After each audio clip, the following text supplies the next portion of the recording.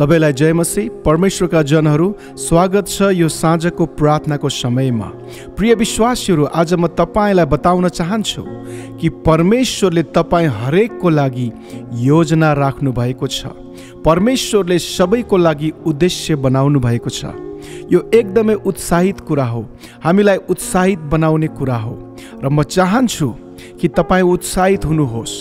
हुनसक्छ तपाईँको जीवनमा तपाईँ यस्तो समयबाट भएर जाँदै हुनुहुन्छ जहाँ असफलताको महसुस गर्दै हुनुहुन्छ। तपाईँले गर्न खोजेको काम सफल भएको छैन होला। तपाईँले एउटा कुरा गर्न खोज्नु भएको छ तर अर्कै कुरा तपाईँको जीवनमा भइरहेको हुनसक्छ म तपाईँलाई बताउन चाहन्छु कि निराश नहुनुहोस् तर परमेश्वरमा भरोसा राख्नुहोस्।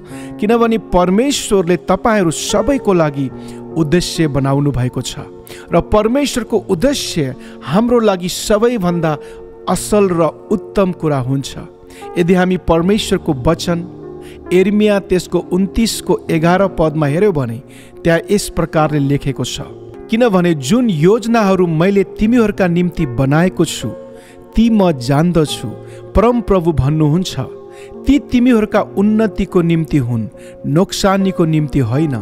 तिमीहरूलाई आशा र भविष्य दिनलाई। आमेन। प्रिय विश्वासीहरू हामी यहाँ देख्न सक्छौँ परमेश्वरको वचनमा परमेश्वरले भन्दै हुनुहुन्छ जुन योजना उहाँले हाम्रो लागि बनाउनु भएको छ त्यो योजना परमेश्वर जान्नुहुन्छ।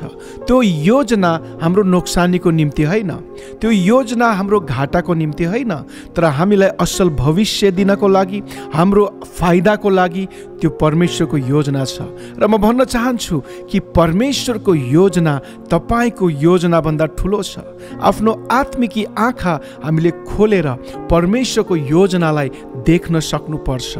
आजको साँझ म तपाईँलाई एउटा कथा सुनाउनेछु। त्यो कथाबाट हामीले बुझ्नेछौँ कि परमेश्वरको योजना कति ठुलो छ। एकपटक पानी जहाजमा यात्रीहरू हिँडिरहेका थिए। समुद्रमा ठुलो हुरी बतास आउँदछ र ठुलो हुरी बतास आँधी तुफानको सामना उनीहरूले गर्दछन् र त्यस ठाउँमा त्यो ठुलो पानी जहाज डुब्छ। र सबै मानिसहरू त्यहाँ डुबेर सबैको मृत्यु हुँदछ। तर एकजना व्यक्ति बगेर समुद्रको किनारमा पुग्दछ। र केही दिनसम्म ऊ बेहोस थियो र जब उसले आफ्नो आँखा खोल्छ उसले देख्छ कि ऊ चाहिँ एकान्त टापु जहाँ कोही मानिसहरू थिएन केवल जङ्गल मात्रै थियो। त्यस्तो ठाउँमा ऊ पुगेको रहेछ र त्यही घडीमा उसले परमेश्वरलाई हात उठाउँछ र प्रार्थना गर्न सुरु गर्छ। परमेश्वर पिता मलाई बचाउनुहोस्। परमेश्वर मलाई सहायता गर्नुहोस्। मलाई कुनै सहायता पठाउनुहोस् भनेर प्रार्थना गर्छ। केही दिनहरू बित्छन्। कुनै पनि सहायता आउँदैन। ऊ चाहिँ निराश भएर बसिरहेको हुन्छ। उसले त्यस ठाउँमा भएको कुराहरू नरिवलको पानी यसरी माछाहरू मारेर उसले खान थाल्छ। र केही दिनपछि फेरि उसले प्रार्थना गर्छ परमेश्वर मलाई बचाउनुहोस् मलाई सहायता गर्नुहोस् यस ठाउँबाट निकाल्नुहोस्। केही दिन बित्छ अझै तर पनि उसको प्रार्थनाको उत्तर आउँदैन। ऊ निराश हुन्छ हताश हुन्छ र उसले अब यो कुरा विचार गर्छ कि मेरो जीवन यही ठाउँमा बित्नेछ र उसले त्यस ठाउँमा बाँच्नको लागि त्यहाँ माछाहरू मार्दै यसरी जङ्गलको फलफुलहरू खाँदै उसले आफ्नो दिनहरू बिताउन थाल्छ र उसलाई लागेको थियो कि अब म चाहिँ यहीँ रहनेछु यहीँ नै बाँच्नुपर्छ मेरो जीवन यहीँ बित्नेछ। र उसले केही काठहरू जम्मा गरेर त्यहाँ सानो झुपडी बनाउँछ र ऊ त्यो झुपडीमा बस्ने त्यहाँ चाहिँ माछाहरू मार्दै खाएर आफ्नो दिनहरू बिताउन थाल्छ। समय बित्दै जान्छ र एक दिन आगो बालेर त्यो व्यक्ति जङ्गलभित्र पस्छ जनावर मार्नको निम्ति। र केही समयपछि जब ऊ फर्केर आउँछ उसले देख्छ उसले बालेको आगोले उसको झुपडीमा आगो लागेर उसको झुपडी जलिसकेको हुन्छ। त्यो घडीमा ऊ एकदमै निराश हुन्छ एकदमै दुखित हुन्छ र परमेश्वरतिर हेर्दै उसले परमेश्वरलाई भन्छ परमेश्वर मैले तपाईँलाई प्रार्थना गरेँ। तपाईँले मेरो प्रार्थना सुन्नु भएन। मैले बिन्ती गरेको थिएँ मलाई सहायता पठाउनुहोस्। मलाई यस ठाउँबाट निकाल्नुहोस्। तपाईँले कुनै पनि व्यक्ति पठाउनु भएन। तपाईँले सहायता पठाउनु भएन। तर मैले मेहनत गरेर बनाएको यो झुपडी थियो। एउटा मात्रै झुपडी थियो जहाँ म बसिरहेको थिएँ। त्यो अहिले जलेर राख भयो। तपाईँ कति क्रूर परमेश्वर हुनुहुन्छ भनेर उसले परमेश्वरसित गनगनाउन थाल्छ। र निराश भएर केही पनि नखाएर हताश भएर त्यो राति चाहिँ निद्रामा सुत्छ। बिहान हुन्छ र एउटा ठुलो चर्को आवाज त्यहाँ आउँछ।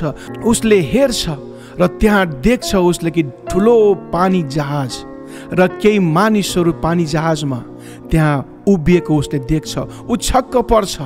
त्यो मानिसहरूले उसलाई बचाउनको निम्ति त्यहाँ आएका थिए। ऊ चाहिँ जहाजमा जान्छ खुसी हुन्छ। खुसी हुँदै ऊ चाहिँ जहाजमा बसेर आफ्नो घरतिर ऊ चाहिँ लाग्न थाल्छ। र उसले त्यो जहाजको क्याप्टेनलाई कप्तानलाई उसले यो प्रश्न गर्छ म लामो समयदेखि यस ठाउँमा थिएँ। आजसम्म कुनै पनि सहायता आएको थिएन। कसरी तपाईँले मेरो बारेमा थाहा पाउनुभयो र मलाई बचाउन आउनुभयो? भनेर उसले प्रश्न गर्छ।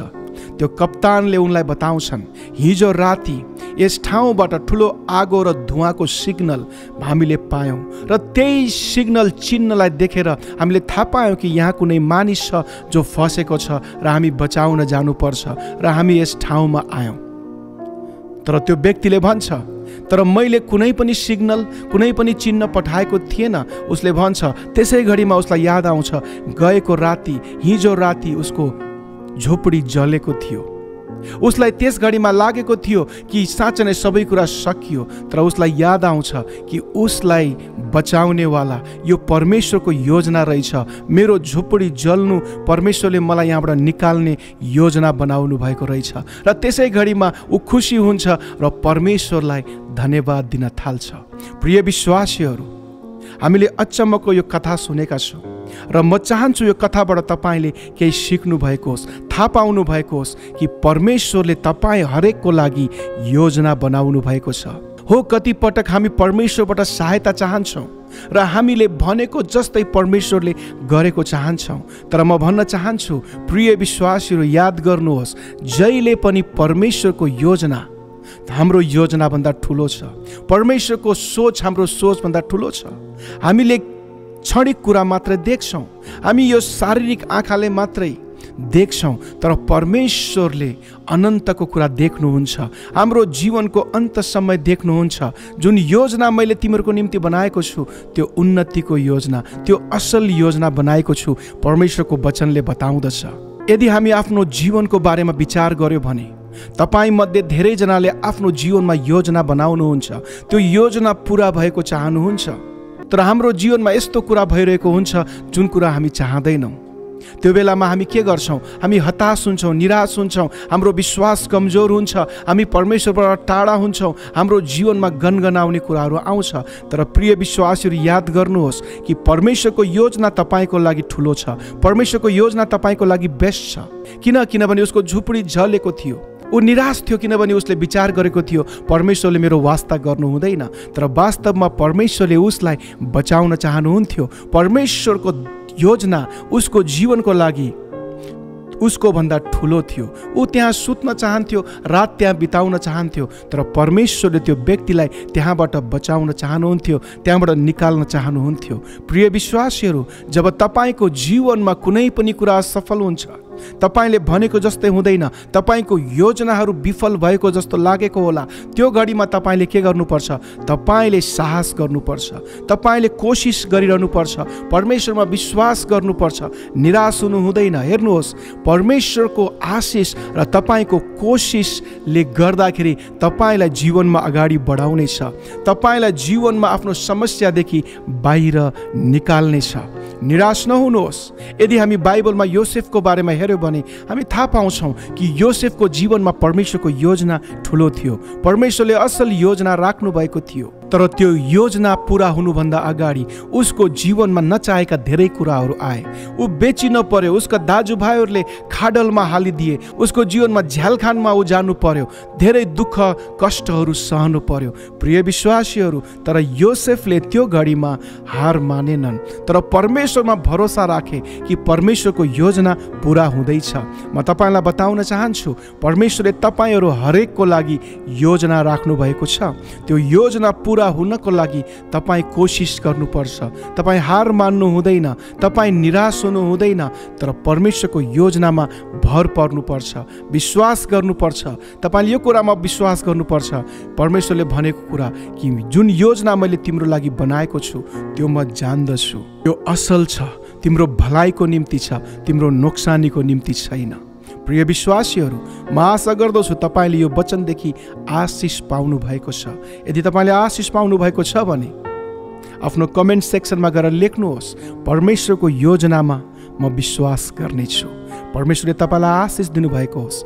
आउनुहोस् हामी आराधना र प्रार्थनाको समयमा जानेछौँ।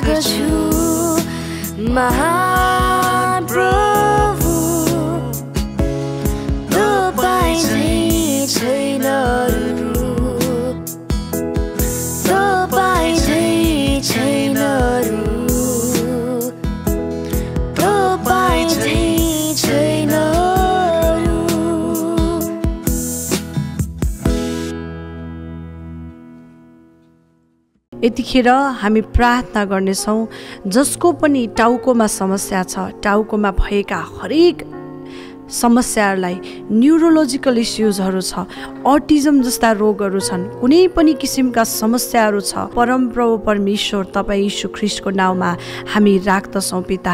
तपाईँ ख्रिस्ट यीशुको चङ्गाई तपाईँको अभिषेक र छुटकारा पठाउँदछौँ। ब्रेन ह्यामरेज भएको छ ब्रेनमा समस्या छ परमप्रभु ब्रेनका कुनै पनि नसाको भागहरूमा समस्या छ परमेश्वर तपाईँले छोइदिनुहोस्। जे पनि औषधि उपचार गर्नुभएको छ जुन जुन पनि कुरा प्रार्थना गरेर उहाँहरूले परमप्रभु भरोसा गरेर त्यो कार्य गर्नुभएको छ। तपाईँको छुटकाराको विजयी आउन सकोस् पिता। म प्रार्थना गर्छु तपाईँको चङ्गाई तपाईँले पठाउनुहोस्। यतिखेर प्रार्थना गर्छु बालबच्चाहरूमा भएका जुन पनि समस्याहरू छन् प्रभु यीशु ख्रिस्ट तपाईँले छुनुहोस् पिता। हरेक जेनेटिक समस्याहरू यीशु ख्रिस्टको नाउँमा यतिखेर तोडिएको आज्ञा गर्दछौँ। जेनेरेसनल कर्सेसहरू परमप्रभु ख्रिस्ट यीशुको नाउँमा गएको घोषणा गर्दछौँ। आज यतिखेर जो पनि गर्भवती हुनुहुन्छ र उहाँहरूले सुन्दै हुनुहुन्छ उहाँहरूको गर्भमा भएको बालकलाई औ शिशुलाई परमप्रभु ख्रिस्ट यीशु तपाईँको अनुग्रह राख्दछौँ। शिरको टुप्पोबाट पैतालाको नङसम्मै जति पनि अङ्ग प्रत्यङ्गहरू छन् तपाईँ ख्रिस्ट यीशुले असल र स्वस्थ बनाउनुहोस् भनी म प्रार्थना गर्छु। प्रभु तपाईँको छुवाई लगाउनुहोस्। आज छालामा भएका समस्या भएका व्यक्तिहरू जो पनि हुनुहुन्छ गिर्खा आउने गाँठा आउने छाला छिलाउने sí छालामा ऱ्यासेसहरू आउने हाइपर सेन्सिटिभिटीहरू हुने खाना खान नमिल्ने कुनै पनि कुराहरू लगाउन नमिल्ने परमप्रभु कुनै पनि किसिमका एलर्जीका समस्याहरू psoriasis dermatitis seborrheic dermatitis atopic dermatitis eczema जे पनि किसिमका रोगहरू छन् छाला सम्बन्धी परमप्रभु यीशु ख्रिस्टको नाउँमा निको भएको घोषणा गर्दछौँ चङ्गाईको निम्ति प्रार्थना गर्दछौँ। उहाँहरूले लगाउने खानेकुराहरूमा तपाईँको छुवाई लगाइदिनुहोस्। यतिखेर जसको पनि घाँटीमा समस्या छ टन्सिलाइटिस फेरेन्जाइटिस ल्यारेन्जाइटिस इसोफेगसमा भएका समस्याहरू स्प्लिनमा प्यानक्रियाजमा भएका समस्याहरू परमप्रभु किडनीमा लिभरमा भएका समस्याहरू किडनी स्टोन गलब्लाडर स्टोन जे पनि छ यीशु ख्रिस्ट तपाईँको चङ्गाइदिनुहोस्। मुटुमा समस्या भएका व्यक्तिहरू फुक्सोमा औ प्रभु एलर्जिक ब्रोङ्काइटिस भएका समस्या भएका व्यक्तिहरू आजमा जस्ता रोगहरू जे पनि छन् यीशु तपाईँले छुनुहोस्। साइनोसाइटिसका प्रब्लमहरू नाकभित्र मासु पलाउने समस्याहरू आँखा देख्न नसक्ने आँखामा समस्या भएका आँखामा इन्फेक्सन भएका मोतीबिन्दु समस्या भएको जति पनि व्यक्तिहरू हुनुहुन्छ परमप्रभु ख्रिस्ट यीशु तपाईँको अनुग्रह लगाउनुहोस्। नकारात्मक विचार आउने व्यक्तिहरू जो पनि हुनुहुन्छ यतिखेर anxiety depression anorexia loss of appetite निन्द्रा नलाग्ने समस्या इन्सोमियाहरू जे पनि छ यीशु ख्रिस्ट तपाईँले छोएर चङ्गाइदिनुहोस् प्रभु।